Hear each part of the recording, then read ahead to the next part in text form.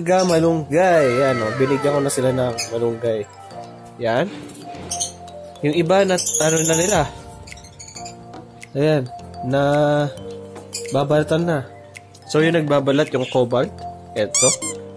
Tapos dito, wala mukhang hindi nila ginagalaw. So, itong dalawan to, medyo hindi pa interesado sa mga sanga-sanga. Yan. Tapos sa likod, kakyan. Yung hen, ayun, ayun. Ay, ito yung hen. Kasi itong dalawa, lagi na magkatikit nung nilipat ko sila sa likod. Kasi di ba yung wild type doon sa likod, itong dalawang to. Nandito sila. Nandito sila dati eh. So nilipat ko sila doon kasi eto kapatid, ay kapatid, itong kapares niyang lalaki din, eh nagsisilipan sila. Kaya nilipat ko sila doon. Kaya, ayun, medyo nagkakaintindihan na sila doon sa likod. Puta natin.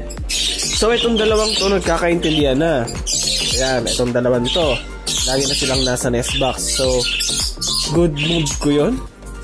Maganda ang galaw ko yun dito kasi nilipat ko sila. Dahil itong dalawang to, itong dalawang to, pumapasok na sila dito sa nest box nila. Pati yung kabila.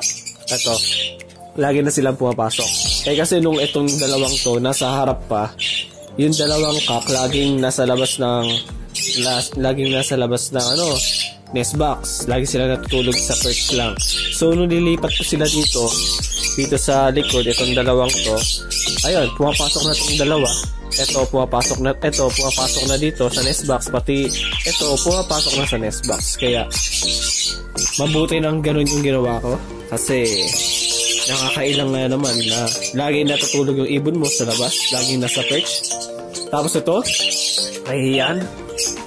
May mga nagsasabi ng cock daw to. Pero hintayin muna natin hanggang hindi pa nagpapakita ng sign. Kung hindi pa siya nagpapakita ng sign. Tapos itong hen, ayan, medyo aggressive na siya minsan doon sa kasama niya. Lagi niyang hinahabol. Hindi ko alam kung bakit, pero hayaan lang natin sila. Siguro ganun ang, ang ugali ng mga parakits na nangahabol. Ayan.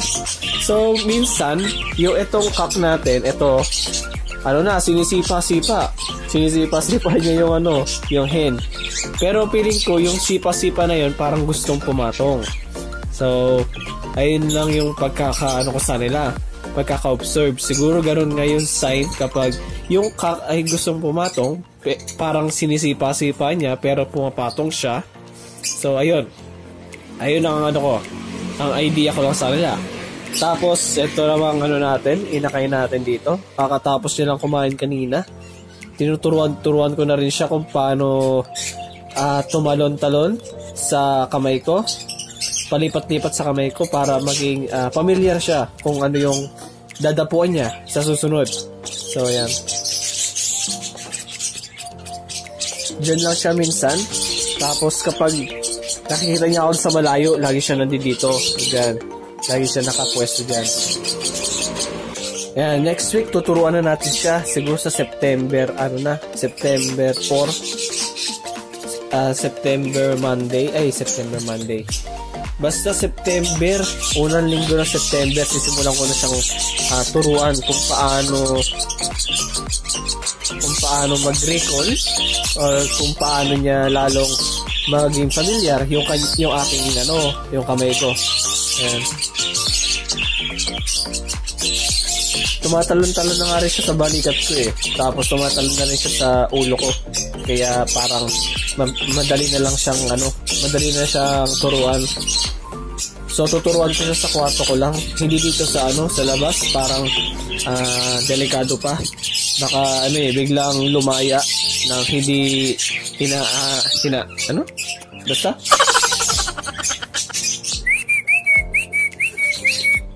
Yan, manahimik lang kayo. Yan. Magkakatabi naman sila lahat lagi. Yan, o. Oh. Sila rin. Ah, okay. Dito naman. Ito. Dito, tatlong pares na ata. Ito. Ito ata magkapares. Ano ko, yan, magkapares yan. Tapos, meron pa rito.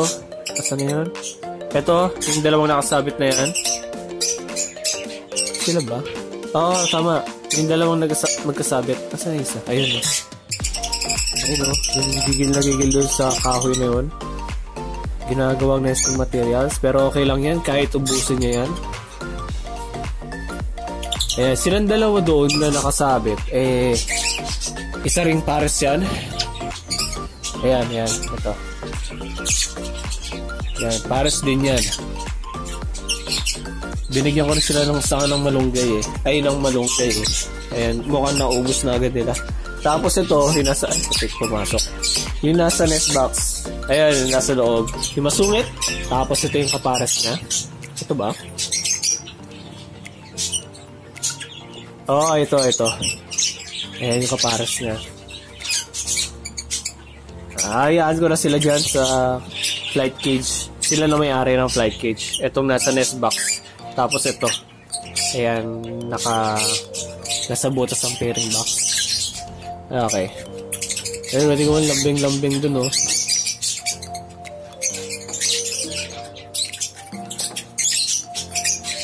Ah, malambing sila. Nag, nakita ko rin nagsusubuan na yung dalawa eh. Kaya, hayaan ko lang muna sila kasi medyo bata pa sila dyan. Sige, kapag ayan tinuka mo, ikaw kawawa. Bahala ka. Mas masungit yan sa'yo. Huwag mo gagawa ng mali yan. Huwag kang gumawa ng gulo. Kawawa ka. Tapos ito pala, kakto eh. Ito. Itong olive natin. Kak yan. Nagpapatunog na yan eh. Yung tipong gustong pumatong, pero walang mapatungan. Kasi walang may gusto sa kanya. Nako, ayun o, oh, nandadamba na oh. May masamang balak. Okay, kaya mo na sila. Dalawa kasing hen yan eh. Baka hindi sila nagkakasundo dito sa sa loob ng flight cage kasi sa kanya lang yung nest box. Kaya ayoko naman lagyan pa ng nest box dito kasi baka maging ano na to, colony cage. Mahirap na. Dito na tayo sa, lo- sa labas. Tapos dito, binigyan ko na rin sila ng sanga eh. Ay, na walunggay eh. Kasi isa. Ben, lagi nakatago yung isa dito, hindi man lang makita. Ayun. Lagi nagtatago sa akin eh, kapag papunta na ako, pag naririnig niya ako. Basta itong pares na to, isang maling galaw ko, papasok na sila sa ano eh. Papasok na agad sila sa nest box. Kahit lalagyan ko lang ng ano, ng tubig, ng seeds, ganun. Ganun sila kailap sa akin. Tapos, yung ko nga pala ulit yung may-ari nito, Di ba nung binili ko to, sabi niya, kapag nagkaroon daw to ng pula mata, bibilin daw niya.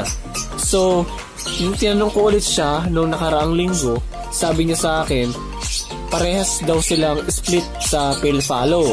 So, kung parehas silang split sa pale, sa pale follow, pareha, ano, ah, may chance sa magkaroon ng pula mata yung inakay nila.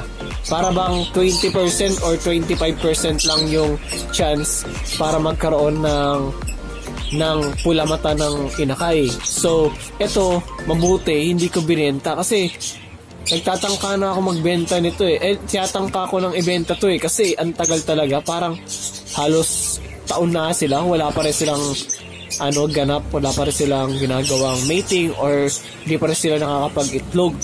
Kaya mabuti hindi ko sila binenta. Kasi yun nga, sabi nung may-ari nito, ah, uh, par- parehas daw silang split pale palo. Kaya kapag nagkainakay sila, may chance na magkaroon ng pula mata. Kaya iti-treasure ko to. Dito lang yan. Ahayaan ko sila mabuhay dito sa akin hanggang sa magkaroon silang inakay na pula mata. Kapag nagkaroon ng pula mata to, hindi ko syempre bebenta kasi gagawin kong project yun. Iba project ko to sa ano, sa sa ano natin. Ito, sa OPA. Yan, so project natin sila sa OPA. Ito yung OPA natin na gustong gusto ng pumatong. Lagi niya nang pinapakain yung hen doon, pero yung hen eh molting pa. Nasa 6 months pa, 6 months pa lang yan. Ayaw niya pang uh, magpapatong. Medyo bata pa siya kasi molting pa rin. Yan. Pero ito, pero kaya natin ano to? Kay Maha. Kasi ito ready na eh. Nagpapatunog na rin to eh, na parang gustong pumatong eh. Ay, sorry, malabo pala. Ayan, oh. Kasi opaque to. Kasi kapag pinares natin to sa hindi opaline na hen, na walang magan na hindi opa na hen, eh may maglalabas pa rin ng opa hen at opakak yung inak itong par, ano na to, opakak na to. So kapag pinares natin siya kay Maha, may chance pa rin na lahat ng inakay ay opa. Kaya siguro pwede natin ipares to kay Maha para mabilis lang yung ano natin, breeding natin. Try ko silang uh, ipares kapag napalaki na ni Maha yung itlog nila. So, sisilipin ulit natin yung nest box sila sa ano na, sa Sabado. Para makita natin kung ilang itlog na nasa loob. Hindi ko pa sisilip eh. Iniiwasan ko rin eh para hindi mailang si Maha. Try natin siya ipares kay Maha. Kasi si Maha, di ba, proven na. Ito ay basal pa rin. Basal pa lang basal pa lang to na gusto nang mak- makapagparami. Tapos itong opa hen na to, kapag pinares kasi natin to sa hindi opa na ano, naka ang ilalabas niya lang na inakay ay walang walang ilalabas na opa hen. Pero yung mga cup niya, yung mga inakay na magiging cup, puro split. So walang visual na opa. So, kapag pinares natin itong opa hen na to, kunwari dito, puro ano lang sila, puro split lang. Split lang na cock. Tapos walang opa na hen. So, pwede din. Tapos kapag nagkainak kayo sila, uh, pwede natin ipares yung split opa sa mga sa mga uh, opa na hen. Ganun. Project-project lang, matagal-tagal na proseso. Pero dahil nagka-project tayo ng ganyan-ganyan, maganda yon dahil natututo tayo sa pinakamahabang proseso. So, yan na.